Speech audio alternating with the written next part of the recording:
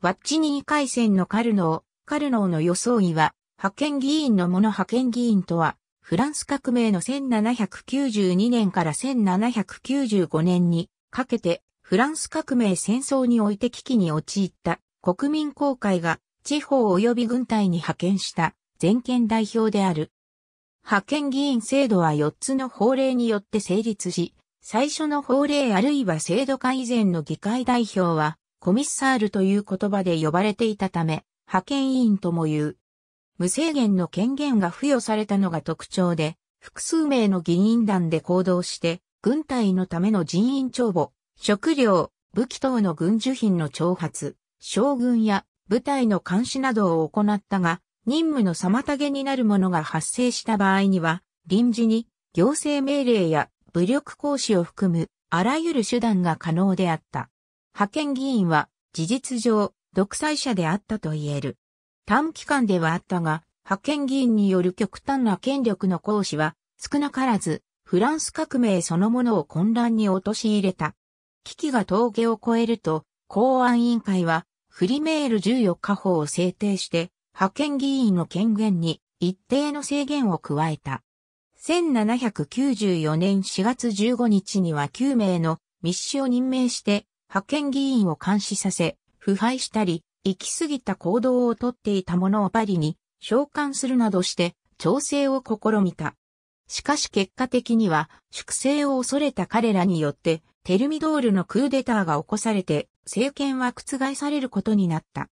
末期国民公会でも派遣議員制度は継続されたが、穏健派から主に選出され、過激な政策は影を潜めた。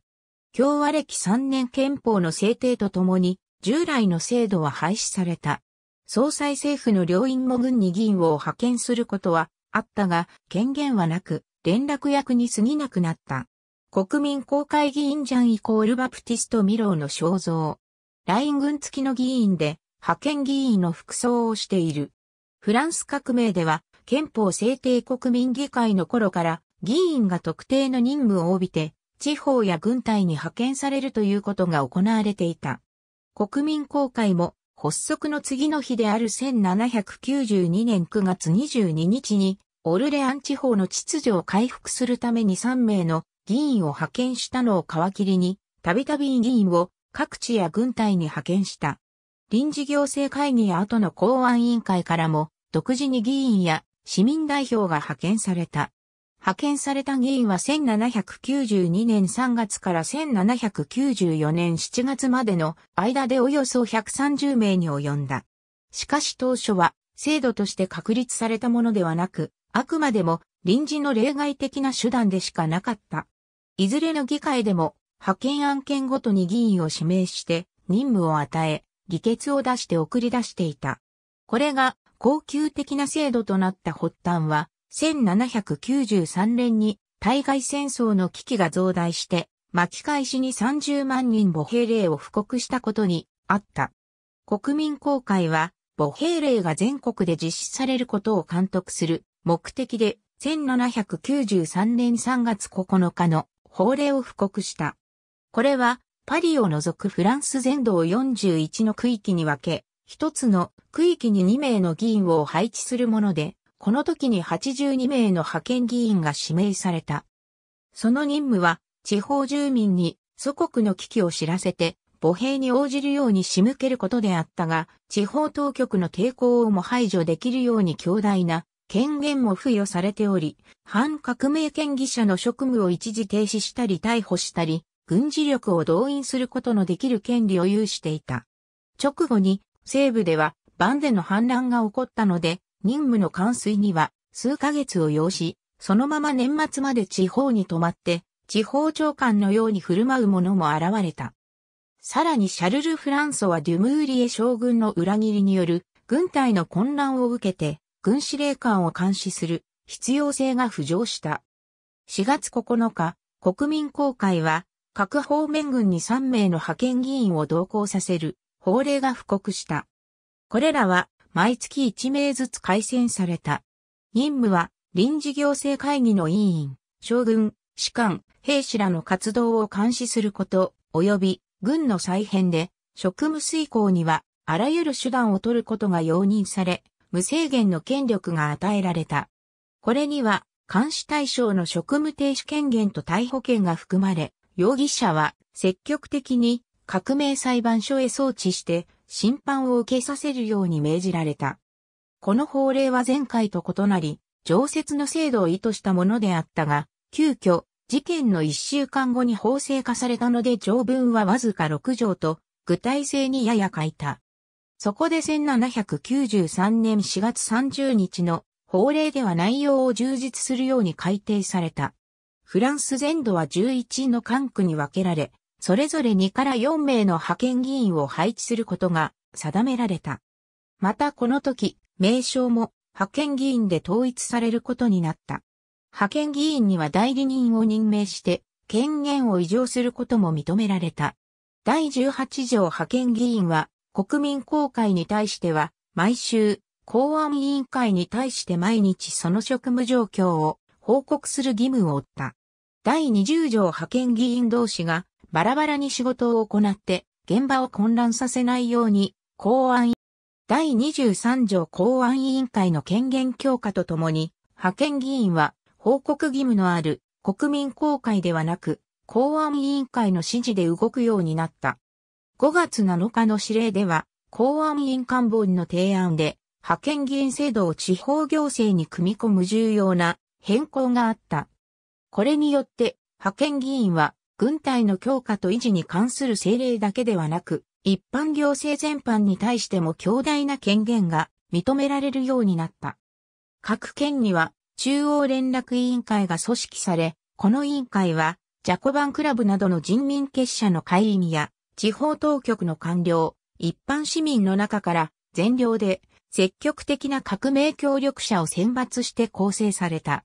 その任務は、派遣議員への地元からの情報提供、諮問機関であるというのが建前であったが、現実的には、独裁権限を持つ派遣議員は、恣意的に自分の手先となる追随者を集めて、独自の執行機関としたものであった。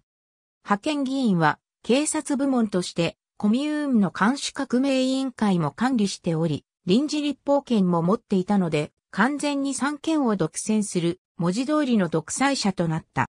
革命軍が創設された後では、これも派遣議員の実行部隊に組み入れられたところもあった。歴史家ジョルジュル・フェーブルが指摘したように、少人数の革命家の手に全てが委ねられたわけである。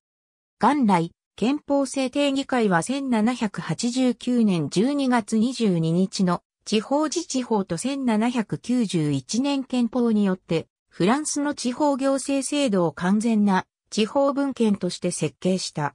各県には選挙で選ばれた。行政官と副行政官が。国王任命によって配置された。行政官の主な仕事は。県の予算配分と租税及び。国庫収入の管理であった。県行政部を構成するのは。選挙人集会で選ばれた。36名からなる。総参事会で、これが定例会議を開いて。最速を定めた。県執行部は総参事会員の代表8名がいた。中央政府との連絡は同様に選挙で選ばれる監査官が行い、地方では国王の代理として大臣の直接指示を総参事会に助言するという形で機能した。国王は行政官と監査官に対して罷免権があり、地方行政命令を無効にする権限もあって、一定の抑止力を持ったが、8月10日事件で、王政が打倒されると、中央と地方との関係は断絶された。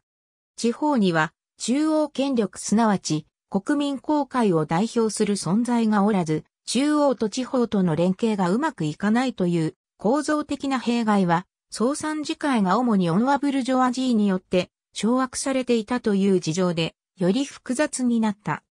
彼らは主にジロンド派を支持していた。国民公会が革命の進展とともに急進主義に傾倒するに、従って地方の穏健派との間には温度差が生まれ、溝は深まった。国民公会がパリ独裁とも揶揄される強権的な中央集権政治を推し進めようとすれば、地方は反発して抵抗するか、悪くすれば反乱を起こす危険すらあった。後にジロンド派追放の影響で起こったリヨンの反乱はまさにそうした中央の暴走に対する地方の離反に他ならなかった。恐怖政治のパリは上級地方行政機関とに二分化されていたを、おおむね反革命的であるとみなしていた。そこで地方が中央政府から離反するのを防止するとともに、地方を粛清し、中央の政策の実施を円滑化するために、地方の末端まで掌握する出先機関として派遣議員制度を位置づけ、山岳派を中心に、あえて急進的な革命家が選ばれて派遣されたわけである。その意味で、派遣議員は、アンシャンレジーム期の地方総監や、ナポレオン体制における知事に相当する機関であったとも指摘される。地方は革命的民主主義独裁に書き換えられた。恐怖政治、なんとの歴史系、中央に立つのが、派遣議員、カリエジロンド派が追放されると、累進強制交際の徴収が始まったが、これを実際に言ったのも、派遣議員であった。アルザス地方に派遣されたサンジュストとルバは同地域の革命税を総額1062万リーブルと設定し、24時間以内に支払いが完了しなかった場合、1日でも滞納した者は1ヶ月間投獄すると布告した。193人の裕福なストラスブール市民が6000から30万リーブルの間で個別に税額を割り当てられ、支払いが強制された。ある商人は30万リーブルを割り当てられたが18万リーブルしか集められなかったので、3時間、ギロチン台の柱に縛り付けられ、処刑の恐怖感を味わわされた。またこの他に、ビール醸造業者にも、計25万リーブル、パン屋商店主にも、計30万リーブルが課税され、すべての銀行家と交渉人は逮捕されて財産は没収された。このように恐怖政治の経済テロルは苛烈であったが、これはまだ適正に徴収が行われた方の例である。問題になったのは、不正な徴収と、それに絡む派遣議員の腐敗であった。不正な徴収は、当初は、私利私欲というよりも、特定の階層を狙い撃ちにした政治的弾圧の色彩が強かった。ジャコバンクラブの会員は、最初から課税を免除され、3キロットもたとえ課税相当の年収があっても、課税されることはなかった。また外国人銀行家の財産も、当初に限れば、平原派の国民公会議員の庇護下にあって、没収を免れた。標的となったのは前述の恩恵ブルジョワジーであった。1793年8月23日に国民総動員令が施行されると、その運行を一任された派遣議員は名実ともに現場の責任者となり、重要度を増した。軍や県の行政に加え、彼らには恐怖政治の実践という責務も加わった。中央連絡委員会を軸とする革命的行政は、従来の県行政に対抗する権力として君臨し、しばしば地元当局の粛清や住民の大量虐殺など、極端な革命的手法に走ったことで、フランス革命に強烈な印象を残すことになった。また、派遣議員フーシェは、リヨンの三段乱殺者として有名になる前に、ジェイル県やニエーブル県などの管区に2回派遣され、エベール派の政治家ショーメットらと、非キリスト教系運動を進めたことでも、異彩を放っていた。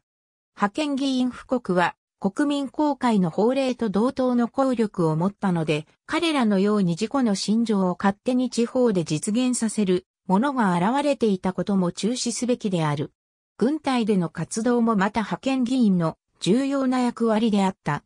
前述のように彼らの任務は監視と広報支援であった。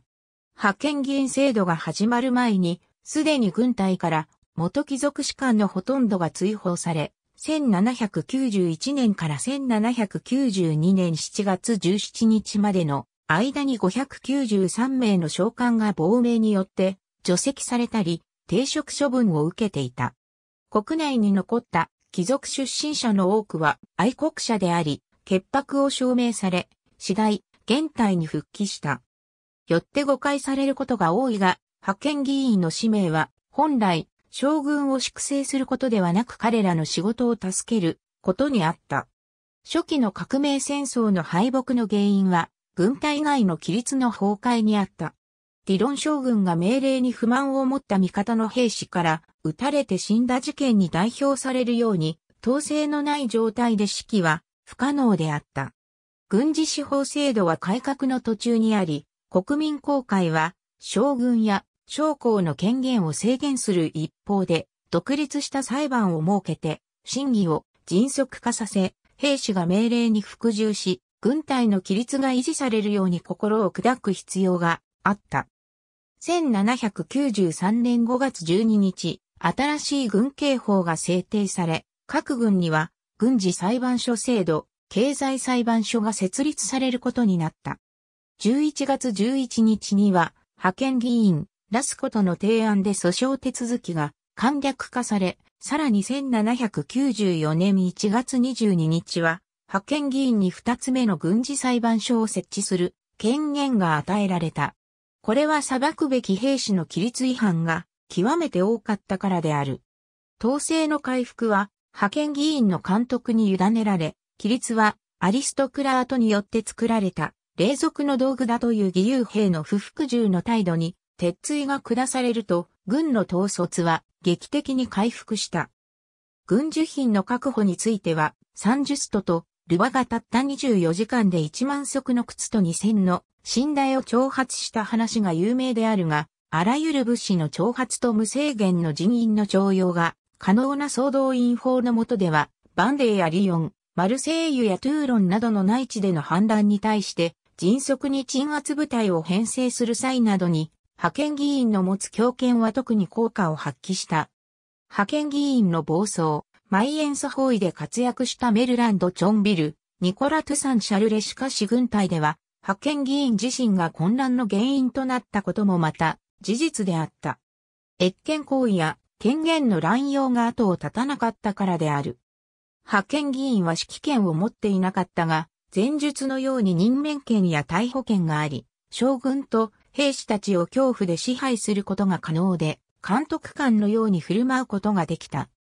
アルプ軍付きの3名の派遣議員はシャリエ派の援助要請を受けて反乱を起こしたリオン氏を包囲する軍隊を起こしたが、この行為軍の最高責任者は、軍司令官のケレルマン将軍ではなく、戦争委員会の有力委員でもあった、派遣議員、デュボア・クランセであった。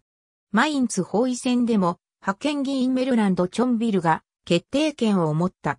また、モビュージュが包囲された時、派遣議員ジャンイコールバプティスト・ドルーエは捕虜になることを恐れ、指揮命令系統を無視して自ら竜騎兵部隊を指揮して、結露を開き、単独で脱出した。これは早計な行動であり、後にワッチニー海戦の勝利によって、モブージュの包囲は解かれた。そのワッチニーでは、派遣議員カルノーは突撃する部隊の先頭に立ったし、派遣議員バラスもトゥーロン後位戦でのファロンさんの戦いに加わった話を回顧録に書いた。派遣議員の何人もが権限を超えて好んで、戦闘行為に参加したとみられる。派遣議員は長期間同じ場所に泊まることは少なく、交代や認知の変更、召喚が頻繁に行われたが、二つ以上の軍が合流した場合など、同一地域で複数の議員団が活動すると、グループ同士で対立することがしばしば見られた。トゥーロン行為戦においては、派遣議員が一時的に7名もいて、軍司令官は作戦会議で彼らを説得しなければ方針を決定できなかった。派遣議員が対立した時、裁定するのは公安委員会であったが、前線からの派遣議員の報告が国民公会と公安委員会の唯一の判断材料であることも多かったので、彼らに都合よく情報操作することも容易であった。政治の軍隊への干渉は悲惨で、結果として愛国者が裏切り者として告発され、些細な失敗が悪意ある重大な過失として懸念され、政治的中傷や恣意的な粛清が横行した。イタリア軍司令官ブリュネは、応答派を宣言したトゥーロン氏が、英国艦隊を招き入れた事件に関して、派遣議員バラスとフレロンによってこの陰謀を察知して食い止めるべきだったと責められ、1793年8月8日に停職処分となり、同じく派遣議員オーギュスタンド・ベスピエールとリコールの手で反革命容疑者であるとの不利な報告をされたことで、安倍監獄に送致されて処刑された。北方軍司令官、ウーシャール将軍は、4名の派遣議員の4名に、猜疑の目で見られて、たびたび式に介入を受けた挙句、恩賞と海戦に勝利したにもかかわらず、追撃が不徹底だったとして1793年9月23日に逮捕され、革命裁判所で反逆者という不当な判決を受けて処刑された。他方、政治的に好ましいとみなされた召喚は、能力以上に不当に優遇された。派遣議員、ロンさんは、無能なロシニョール将軍を、サンキロット出身であるという理由で、数々の失態から擁護した。ロシニョールは、西部軍司令官を罷免された後も、ダントンやロベスピエールに弁護され、ブレスト沿岸軍司令官に復帰すらできた。同様に、最も無教養なリーダーと評されたレシェル将軍も、ロンさんとは、窮地の間柄で、志願兵からの叩き上げであったという理由だけで、西部軍司令官に指名された。レシェルは地図すら読めず、隊列の動かし方も知らなかったのにである。革命家を辞任していた多くの派遣議員は、旧特権階級出身者の将軍をやり玉に挙げ、彼らを意図的に罰することで自分の評判を上げようとした。また山岳派の一部、特にロベスピエール派は、軍人から将来の独裁者が登場する懸念を持っていて、力のありすぎる将軍はできるだけ排除しようと努めた。戦役初年度ではわずか20名に過ぎなかった将軍の解任は派遣議員制度ができた1793年には275名に増加し、うち17名が革命裁判所へ送られて処刑された。1794年には77名の将軍が解任され、うち67名が同様の運命をたどった。この間、戦死を遂げた将官は80名足らずで、戦場でよりも多くの将軍が不当な粛清によって命を落としたことになる。1794年のフルーリュス海戦、ベルサイユ宮殿展示物、ジュールダン将軍の奥に描かれているのが、派遣議員サンジュスト軍隊に赴いた、派遣議員の中で、あらゆる意味で最も際立った活動をしたのは、サンジュストであった。彼は、派遣議員であると同時に、公安委員でもあり、公安委員には指揮権も認められていたので、文字通りのオールマイティの厄介な存在であった。1793年10月24日、彼は前線に到着するや、否や、第一次ビサンブール海戦で敗北したライン軍に、カツを入れるために、ベテランの旅団長イザンベールを部下たちの目の前で射殺させた。また軍司令官を交代させ、若いオッシュ将軍とピシュグリ将軍を大抜擢した。彼らはそれぞれ活躍したが、ピシュグリがライン軍司令官としてサンジュストとルバに完全に従ったのに対して、再起あふれる将軍であったオッシュは、モーゼル軍を指揮して、第二次ビサンブール海戦で勝利し、ランダウを解放するなど、サンジュストの面目を失わせるほど活躍した。結果、彼の激鱗に触れ、危険なほど増長したオッシュは移動になって、逮捕投獄される浮き目に遭う。1794年6月19日、6度目のシャルルロワ包囲において、大砲の配備の遅れに起こったサンジュストは、明朝6時までに準備を整えろという命令を守れなかった砲兵隊を処刑したが、慎重なジュールダン将軍に圧力をかけ続け、フリュールス海戦を勝利に導きもした。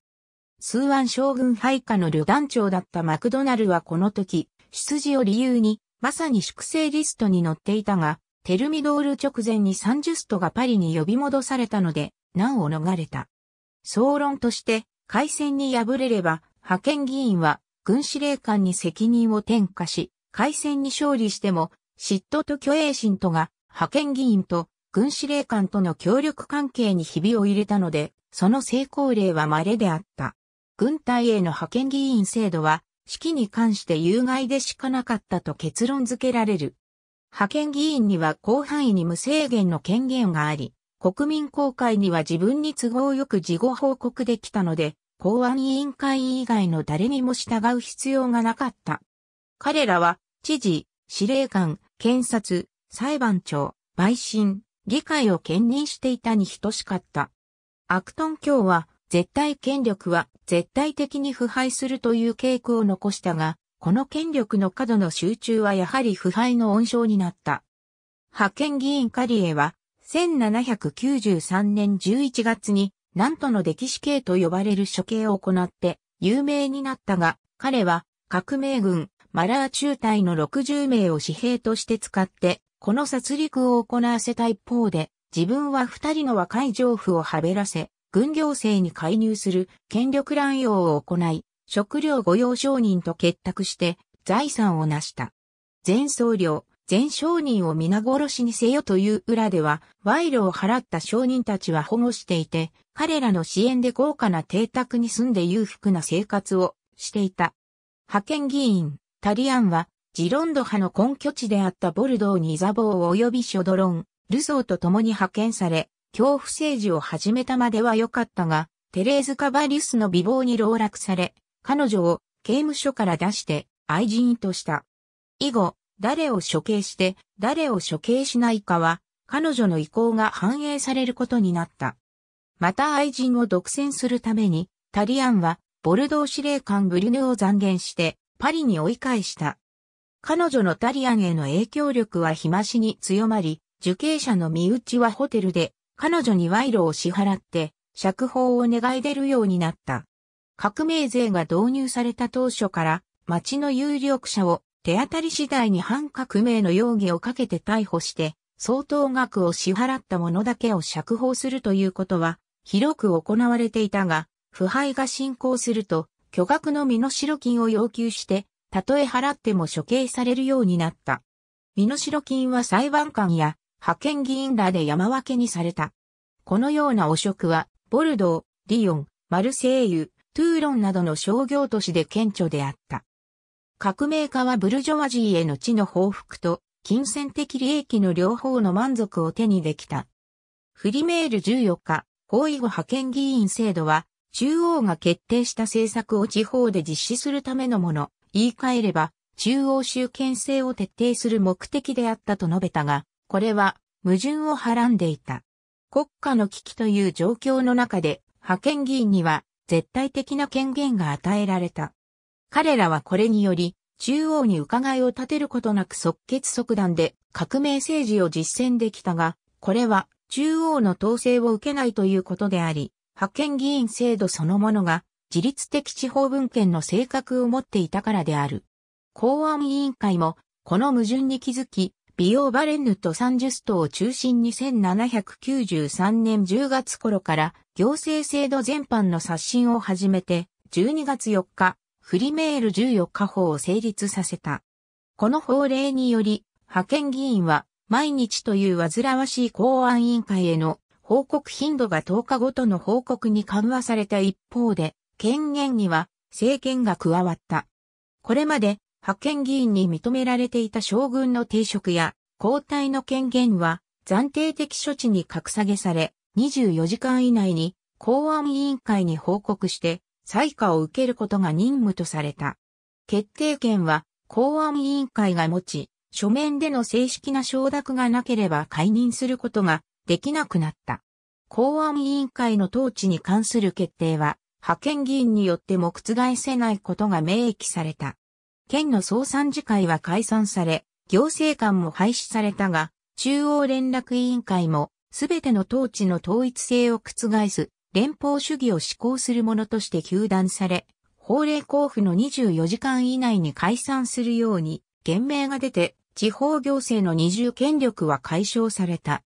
県と郡町村という階層構造を解消するとも、この法は謳っており、県行政の範囲は大幅に縮小され、地区と市町村が行政の基本単位となって、それぞれに政府代理官が配置されて直接統治することになった。これによって派遣議員の行政への関与も遮断された。また、国民公会の承認を得ずに、派遣議員が武力を用いて、恣意的に革命税を徴収することを禁止し、公示することなく、公共資産の処分や土地登記の変更を行うことも禁止した。後者は没収財産を競売によらず議員の講演者に格安で売却や譲としてその見返りをもらうという不正が横行していたためである。1794年春、公安委員マクシミリアン・ロベスピエールは派遣議員への監視と統制を強めるようになった。それまで公安委員会のその役割は十分に機能していたとは言い難かったが、今後、派遣議員に期待される役割は、軍隊や統治機構が遅延なく機能していることを確認する監視人であり、もはや独裁官ではなかった。悪行がパリまで鳴り響いていたカリエ、タリアン、フレロン、バラスラは1月末から2月初旬にかけて召喚された。フーシェは汚職ではなく大量殺戮の容疑で3月末に召喚された。召喚を受けた派遣議員たちの多くはまだパリには到着していなかったが、その3月にはエベール派とダントン派の大量粛清があった。タリアンは狼狽しつつも、つてを使って3月21日に国民公会議長の地位についた。これはロベスピエールをますます憤慨させた。ロベスピエールは1794年4月15日に公安委員会直属の9名の密使を任命し、派遣議員をそこを調査し、動かぬ腐敗の証拠を集めるように指示した。特に彼は若いジュリアンを信任し、カリエとタリアンの調査を行わせた。ボルドーではタリアンが去った後も、カバリスがイザボーや軍事裁判所の裁判官ラコンブを籠絡して町を支配していた。ロベスピエールはこの女のことを知ると激怒し、ジュリアンはカバリスの愛人になって情報を集めた。彼女はパリに来るように仕向けられ、5月に逮捕された。百数十人の派遣議員経験者の多くは山岳派であったが、彼らはその活動において何らかの後ろめたいことがあった。というのも、1793年の秋から冬にかけてならば、反革命容疑者の大量虐殺や革命税の巨額徴収は称賛されたが、1794年の夏には行き過ぎたか疑わしい行為でしかなくなっていたからだ。かつて革命的と評価された非キリスト教系運動に至っては外国勢力の陰謀ということになっていた。過去が粛清の理由になり得るならば誰もが粛清の対象になり得、連結の死、ロベスピエールの厳しい目は脅威であった。このような情勢の変化についていくには、政治家は保身に走らざるを得なかった。山岳派は分裂し、ロベスピエール派は主流派から乖離して孤立した。絶対権力者の地位から次の被告人の立場に落とされた元派遣議員たちは、議会多数派の平原派を必死に説得して抱き込んで、1794年7月27日、テルミドール9日のクーデターに至った。これに愛する人が監獄にいることを知ったタリアンの貢献は少なくなかった。しかし注目すべきは、カリエのような極左分子もロベスピエールを独裁者として求断したことで、カリエはクーデター成功後に極右に転向したタリアンをジャコバンクラブから除名しているが、召喚された派遣議員たちは政策信条の垣根を越えて団結し、権力闘争に臨んだ。ハンロベスピエール派の中核は彼らであり、カリエや病イコールバレなどは恐怖政治をさらに推し進めるように主張していたので、あって恐怖政治に反対して団結したというわけではなかった。故に恐怖政治を葬るには、クーデターの後のさらなる闘争で、極右派の追放と極左派の壊滅を必要としたわけである。派遣議員制度はクーデター後の末期国民公開でも継続されたが、過去に過激な政策を取った議員は徐々に追放されて一人、また一人と失脚していった。共和歴3年憲法の制定とともに、従来の制度は廃止される。軍隊は派遣議員の支配から解放されたが、一方で次第に政治的影響力を増し、ロベスピエールがかつて予告したように軍隊から真の独裁者が誕生することになった。ありがとうございます。